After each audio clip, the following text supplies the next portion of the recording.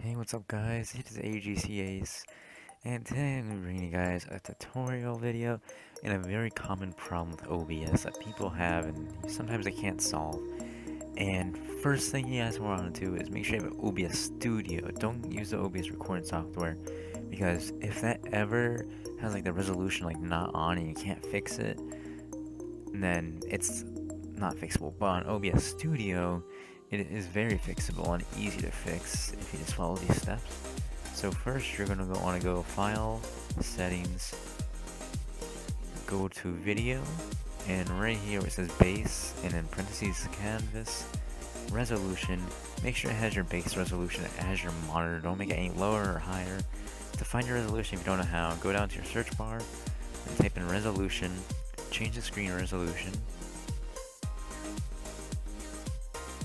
then go to your monitor that you're using and right here under resolution it should say whatever your resolution is and mine is 1280 by 1024 and whatever yours is enter that into your input.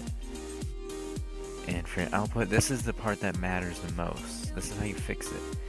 Is by making it a 16 by 9 ratio and the only one that I know is 1280 by 720 so if your base canvas resolution isn't like a 16 by 9 it doesn't matter because the output will look the same on every video. And this is what all youtubers who um do like 1080p this is what their videos will look like so.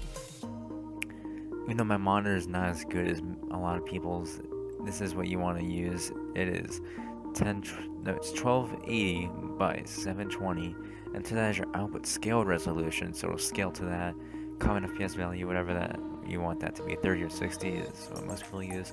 So once you have your output, that should usually work. And don't touch, uh, don't ever touch these red bars here because that will just mess it up. So let's just go try in a game here like Minecraft as you can see.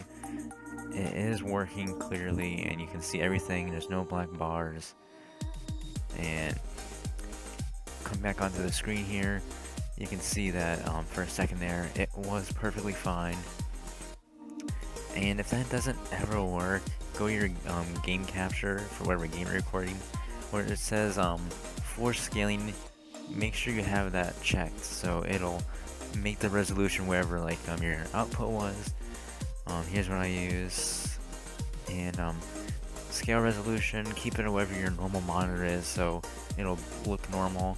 And if you don't, like for some reason my invite still doesn't work from earlier, go and make sure it's like 1280 by 720 and if it's not on there you have to change the resolution.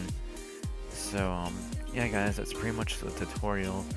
Let me guys know in the comments below if it worked. Um, ask any questions about OBS you might have that you don't know yet or just let me know if it doesn't work or and like what you've done to try to fix it I'll try to help you guys as much as I can to fix it and so that's pretty much it guys. Leave a like and subscribe for more tutorials gaming and many more. I do a lot of uploads and I'll be uploading a lot more frequently. So um, thanks for watching guys. I hope you enjoyed. See you guys next time.